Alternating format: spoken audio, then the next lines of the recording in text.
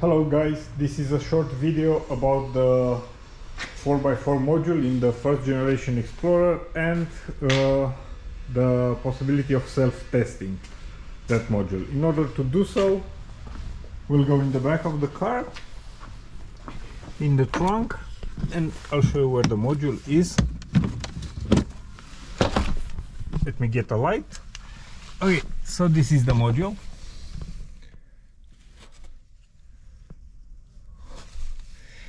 I'll have to disconnect that uh, five wire connector. This one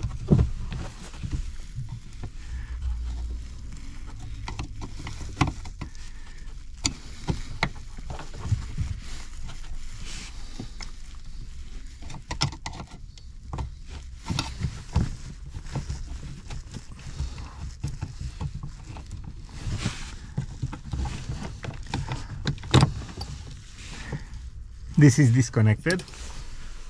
After disconnecting the 5 wire connection we'll have to disconnect the 8 wire connection I'm trying not, not to break it but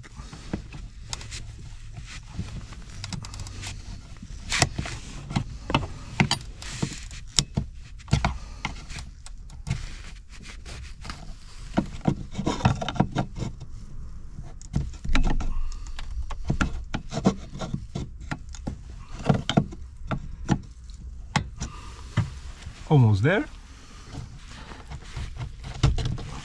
Okay. Both are disconnected. And after this we go in the car.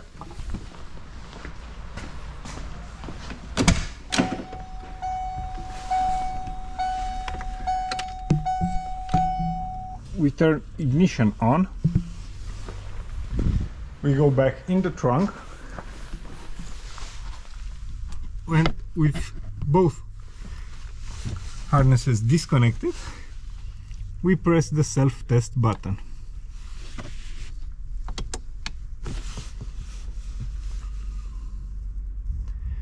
This kind of flashing means that the module is okay. If the module was fault, there would be a steady light on. And this is how you use the self-test function of the 4x4 module.